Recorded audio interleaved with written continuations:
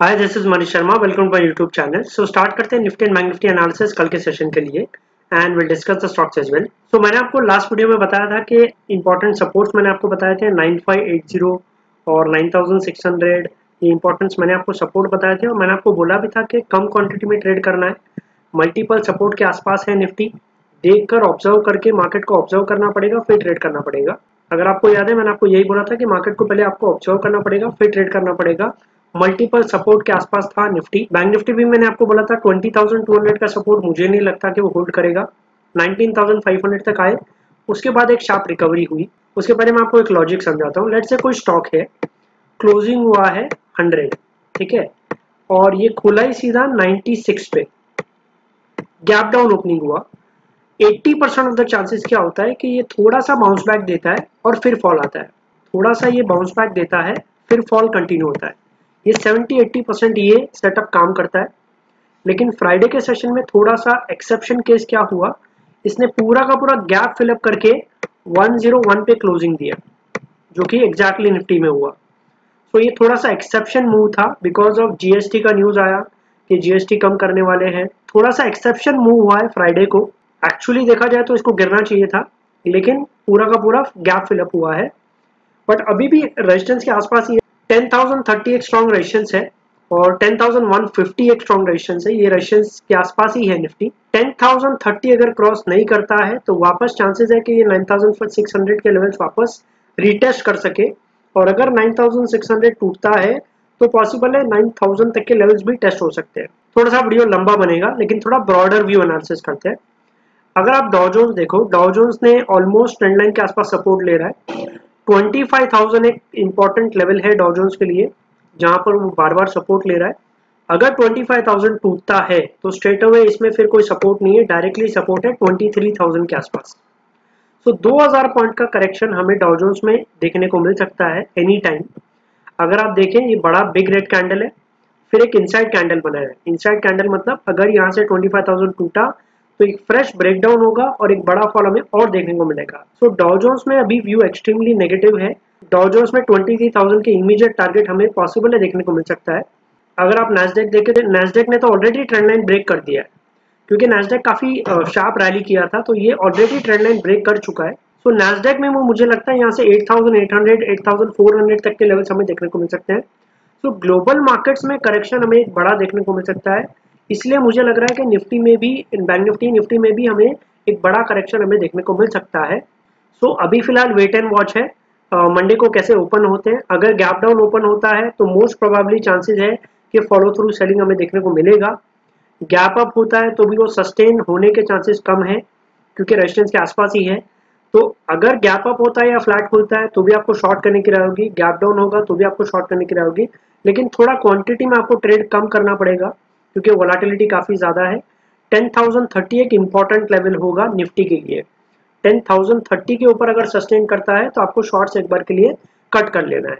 अब अगर आप देखें ये डाउ वीकेंड फ्यूचर है जो कि सैटरडे संडे ट्रेड होता है। बहुत कम लोग को इंडिया में पता है ये चीज़। डाउ फ्यूचर जो है वो सैटरडे संडे भी ट्रेडेबल है ट्रेड होता है। आप देखो वीकेंड वॉल स्ट्रीट इसका नाम है इंडेक्स का। That is the Dow Jones only और आप देखो मोस्ट प्रोबेबली डाउ फ्यूचर जो है कल सुबह 200 पॉइंट गैप डाउन खुलने वाला है।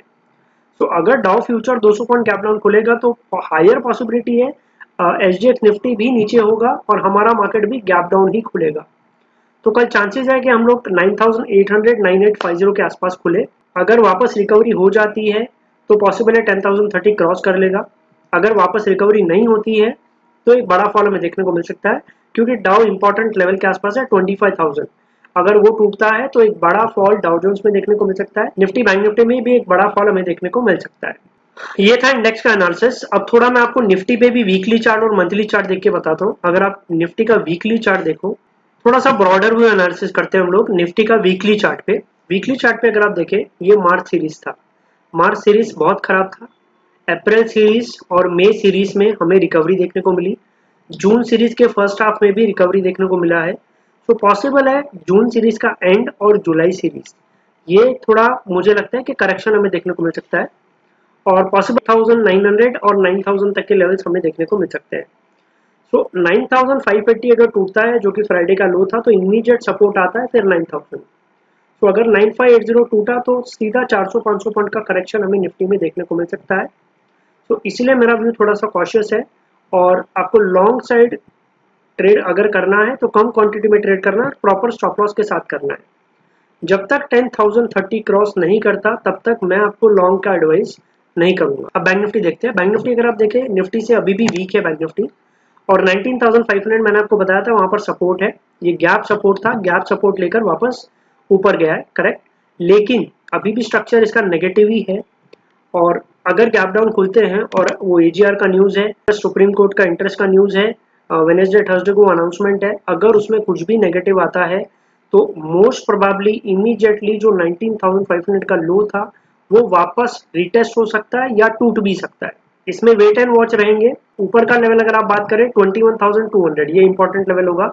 जब तक 21,200 क्रॉस नहीं करता आपको बुलिश के तरफ़ पोजिशन नहीं बनानी है, और अगर आप बना भी रहे हो तो क्वांटिटी आपका कम होना चाहिए। तो ये था बैंक निफ्टी का एनालिसिस अब डिस्कस करते हैं स्टॉक्स कल के सेशन के लिए कौन से स्टॉक्स पे ध्यान देना है? स्टॉक स्पेसिफिक एक्शन हमें मार्केट में बहुत देखने को मिल रहा है। अगर आप देखें इंडस बैंक स्ट्रक्चर काफ़ी स्ट्रॉन्ग लग रहा है इसका। और ये पूरा का पूरा कंसोलिडेशन था, अगर आप देखो। और ये कंसोलिडेशन के आसपास ऑलमोस्ट ब्रेकआउट रेंज के आसपास है। अगर ये ब्रेकआउट दे देता है तो एक बड़ा अपमूव हमें देखने को मिल सकता है। 600 650 तक के टारगेट्स भी हमें देखने को मिल सकते हैं इसमें। इंडसिन बैंक काफ़ी अच्छा बाई ट्रेड रहेगा मंडी के सेशन के लिए। कौन से लेवल पे बाय करना मैं आपको टेलीग्राम चैनल में बता दूँगा। नेक्स्ट स्टॉक होगा माइंट्री माइंट्री अगर आप देखें हंड्रेड डे मूविंग एवरेज के आसपास ये बार बार सपोर्ट ले रहा है। और स्ट्रक्चर भी इसका काफ़ी ठीक ठाक है। अगर आप देखें तो थोड़ा सा कंसोलिडेशन फेस में है और अपवर्ड चैनल में ट्रेड कर रहा है।